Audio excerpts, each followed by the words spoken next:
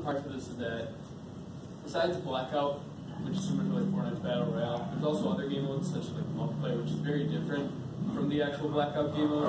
Where you see this, you drop in with absolutely nothing. So bare minimum, just nothing. You have to go and find everything. Where multiplayer, you get a sort of pick ten, pick ten setup. You get ten slots, pick ten items. Those ten items can help you customize your different play styles from like to sit back and just kind of like hang out, wait for people, or actually rush in there and actually kind of go after people. Especially with the sizes of the teams as well. In this, it's either you're alone, you have a buddy, just you and him for duos, or three to four people, and that's pretty much it. Where most players, about five to six people on set teams with set areas of respawning back in where you don't get a respawn in that sense. Once you die, you're out you have to start a new game. So what I did right there is an easy pickoff because in certain areas of the map, they uh, what's unique about this is there are certain areas where zombies spawn, and uh, there's a mystery box that's locked until you kill all the zombies that spawn. And what I did right there, he had killed the zombies for me, and as he was opening the mystery box, I was able to pick him off really quickly when he was off guard. So right now I'm just kind of stealing all the stuff that he had, all the perks, all the ammo and bullets, stuff like that.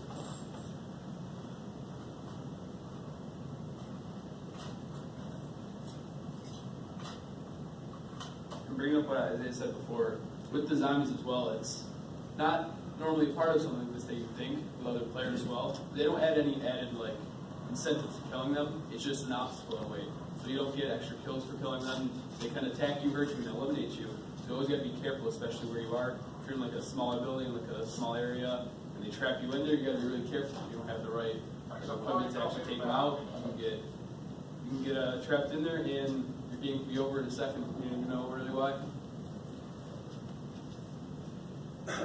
So as you can see, all the stuff at the bottom screen, I popped at least five perks right there. So they each give me a different, uh, a different perk. And uh, the one that I'm about to take advantage of right now is uh, I'm able to see vehicles from a short range away. So you can see the white ATV, and then there's a red one, which means enemies on it. So I was able to see them through the mountain and uh, kind of get the heads up on them right here. I'm trying to play it safe here, so I don't shoot just yet. I don't want him to hide behind a grave or something like that. I want to be able to kill him right away so he doesn't take any of my 200% health off.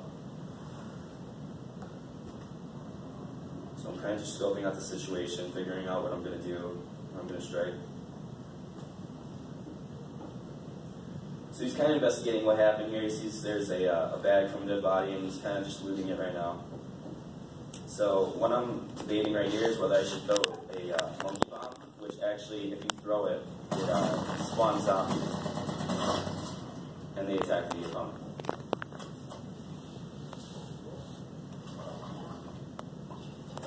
And I'm just looting him for all this stuff right now, getting more ammo, more health, and just different equipment.